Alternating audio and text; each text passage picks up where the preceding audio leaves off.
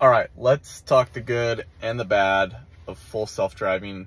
I drive 100 miles for my commute, so I can say I have a decent sample size of where full self-driving is right now.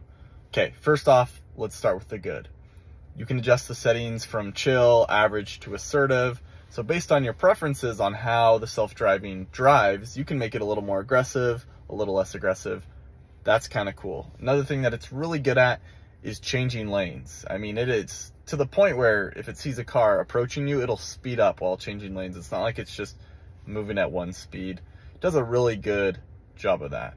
Um, overall, it knows where it's going. It does fairly well, and it drives like a confident Uber driver. I mean, it just it does really well 70% of the time, maybe even 80, depending on where you live. Now let's get to the bad. where do I start? So there have been a few times where it has just been indecisive.